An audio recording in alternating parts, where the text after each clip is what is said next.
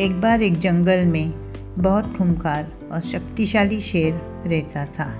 उस जंगल के पास एक गाँव था, जहाँ लोगों को पता था कि शेर कहाँ रहता है। वो शेर उस घने जंगल में पेड़ों के नीचे रहता था। वो शेर दिन भर जंगल में घूमता और शिकार करता और अपने शिकार को उन पेड़ों के नीचे बैठकर आराम से खाता। उसी जगह वहाँ और दो पेड़ थे जो काफ़ी नए और ताज़े थे।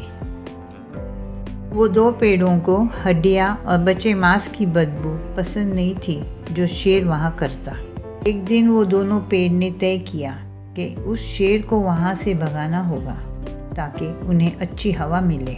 वहाँ एक पुराना पेड़ था, जो उनकी सारी बातें सुन रहा था। उस पुराने पेड़ ने उन्हें कहा, ऐसी गलती मत करना, क्योंकि वो शेर का डर ही है जो गाँव वालों को हम सारे पेड़ों को काटने से दूर रख रहे हैं।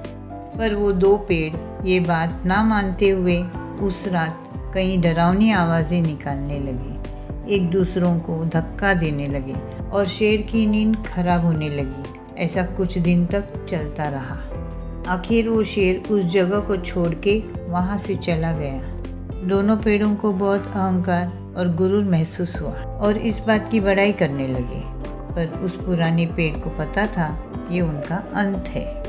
बस, कुछ ही दिनों की बात थी कि गाँव वालों को पता चला कि शेर वहाँ से चला गया और उन्होंने आके पेड़ काट दिए। वो दो पेड़ सबसे पहले थे कटने वाले। कभी भी अपनी चतुराई पे ज़्यादा घमंड मत करना। बूढ़े और समझदार की राय नज़रअंदाज मत करना।